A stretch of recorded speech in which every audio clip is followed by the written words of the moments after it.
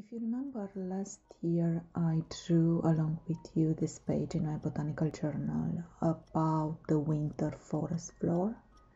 I discovered this interesting mushroom gasherum and I made a study of it during a live session. Then I drew a liverwort and the leaves of Galium and Lysimachia and made videos about that too. If you are new to Patreon and you want to see these videos, please check the first post under the Botanical Journal tag. This year, instead, I would like to combine some elements in the small botanical composition a fallen branch with moss and two uh, twigs still on it, and two groups of scarlet cup mushrooms, mature and young ones. I start by placing the elements with large shapes and very light lines. First the branch, the position of the two twigs,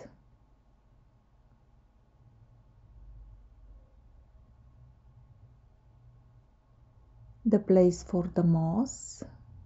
I see three groups in my reference photo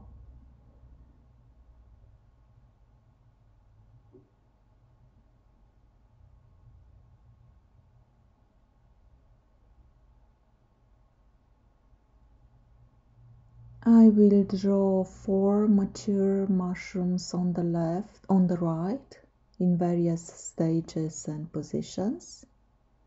A smaller cup shape, one with a leg,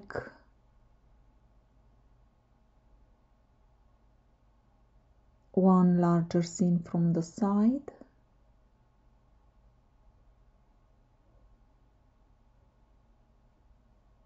and in the middle a larger older one.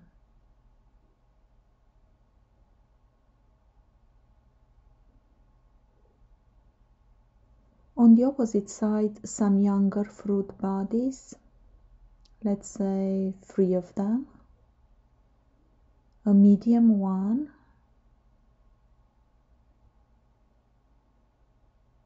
a very small one lying horizontally, and a larger one on the left oriented towards the middle of the composition so as to turn the gaze back to the center of the illustration.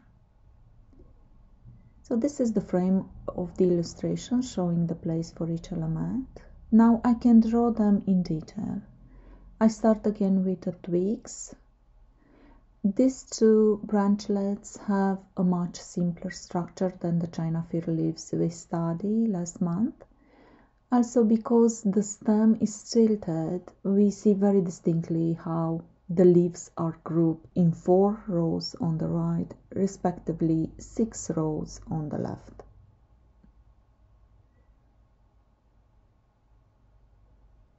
I pay close attention to the distances between the rows of the needles, the negative spaces between, and the angles that the needles form with the central stem.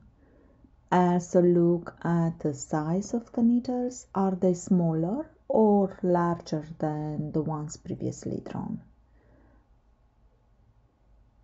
Don't forget to mark the base of the needles, that shape or like suction cups.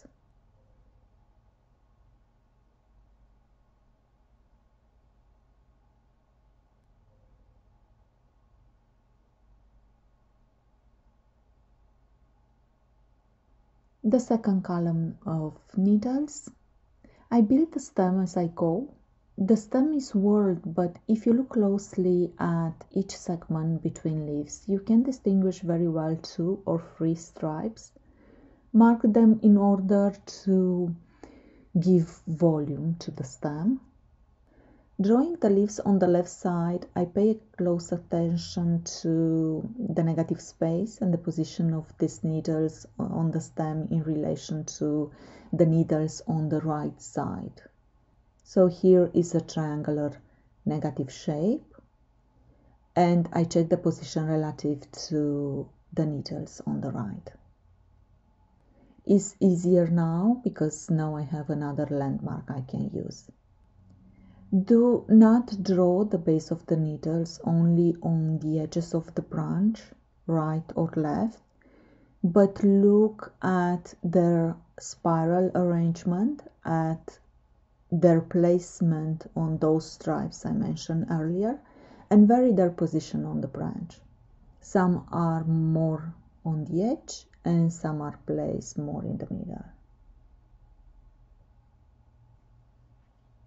And here I have three parallel leaves uh, getting shorter towards the tip.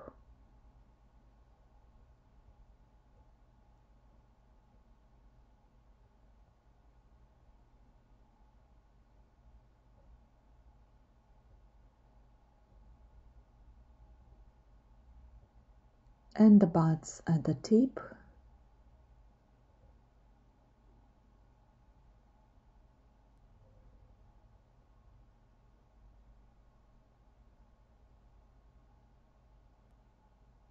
I need to correct that.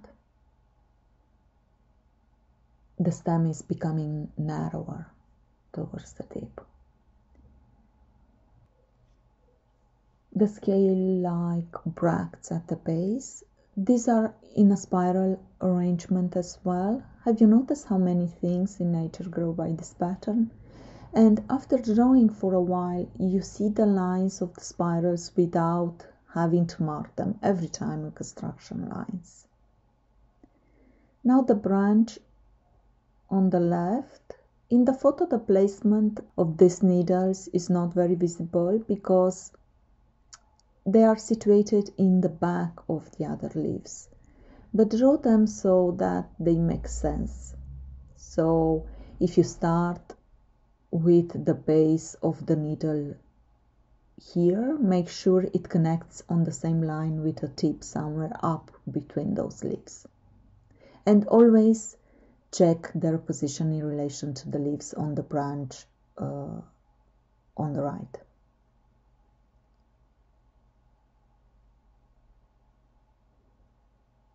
Three parallel needles here again.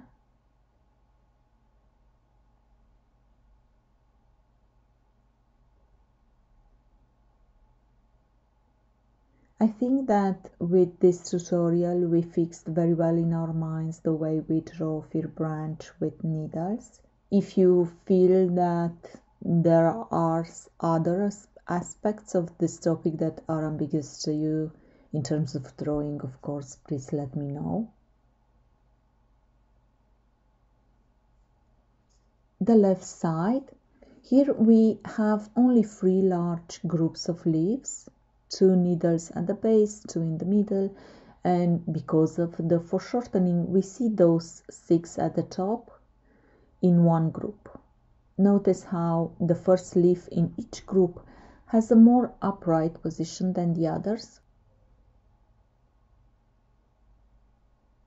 which are more or on a horizontal position.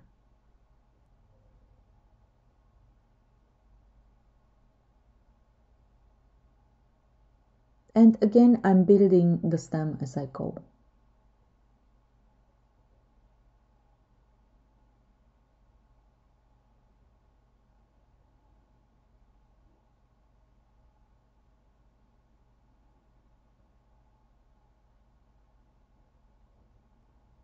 This one is more upright and this other three are parallel.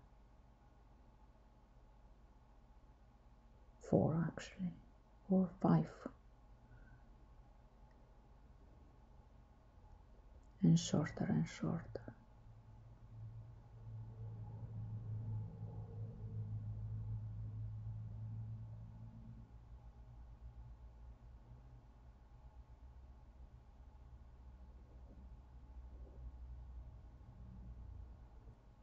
marking some negative spaces Let's draw now the moss. Looking at the hypnum moss with a magnifying glass, we see the leaves arranged in a pattern of spiral, that's right. So from the side they look something like that.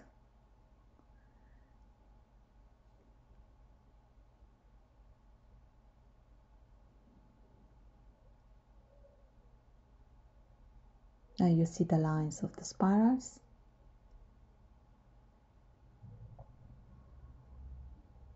And from above, something like that, like a little flower.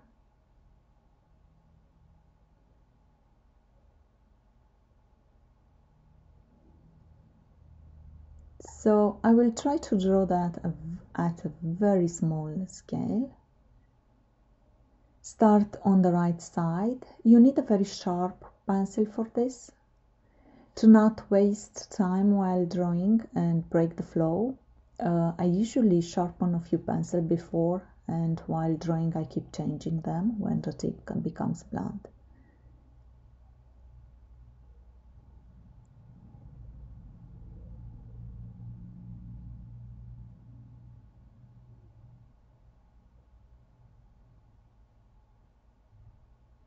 Now on the left, I first draw the capsules. They are very visible and with a distinct appearance, so they become a landmark for this group. Do not try to reproduce the exact position of each capsule or leaf, but rather to keep the random look of their arrangement. So randomness is uh, is the key uh, uh, word for this type of drawing.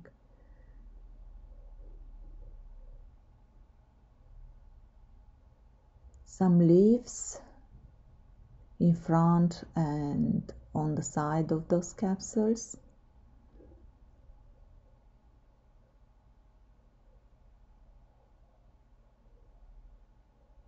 And now we see one from above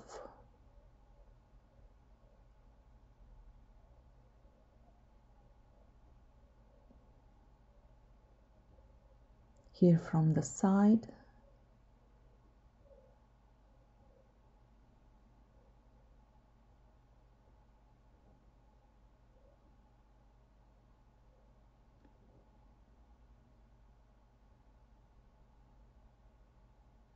this from above also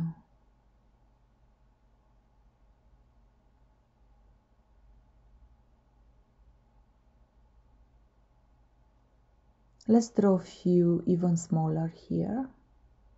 You can see them in the photo and give them a curve shape. Make that small triangles if you can, but if you don't, uh, I think lines are just enough for such a small drawing.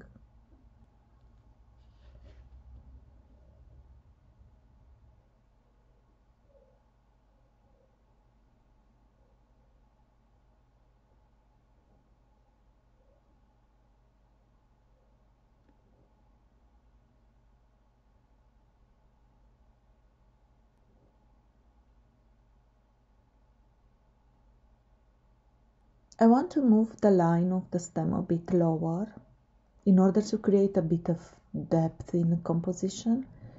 So I'm erasing the construction lines for the young mushrooms and redraw them lower. So here uh, and a bit of texture on the branch and the smaller mushrooms. I still see the fainted lines of the previous drawing, so I can draw them directly, it's not that complicated.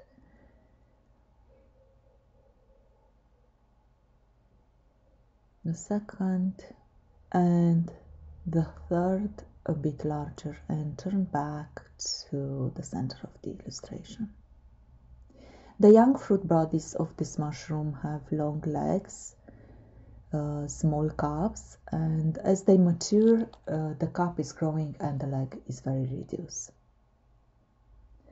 Lower the line on the other side too so there is a continuity. Some wood debris and put here the other mushrooms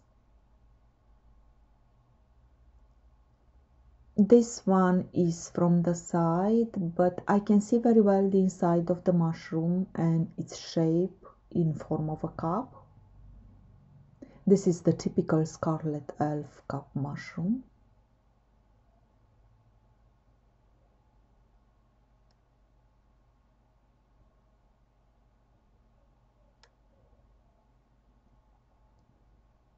Then slightly above uh, one seen from the side but with focus on its back this is a young fruit turning into a mature one and it's in an it's an interesting model for the ink rendering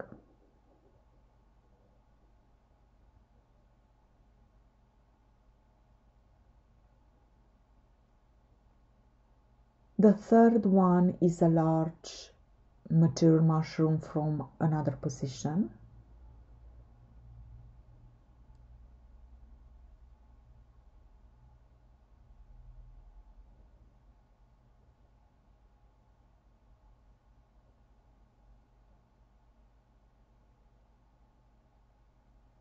And the fourth in the center is an old mushroom some of them lose their cup shape and turn into this irregular pie shape. We see here mainly the top part of the mushroom and maybe bits of the back. And I also want to show the fact that this mushroom gather water and they have a center that looks white is the water reflecting the, the light. So this is our composition. We can put here a few strings of moss just to have some balance. In a day or two I will edit the rest of the video and show you how I render this with ink and watercolor. Thank you for watching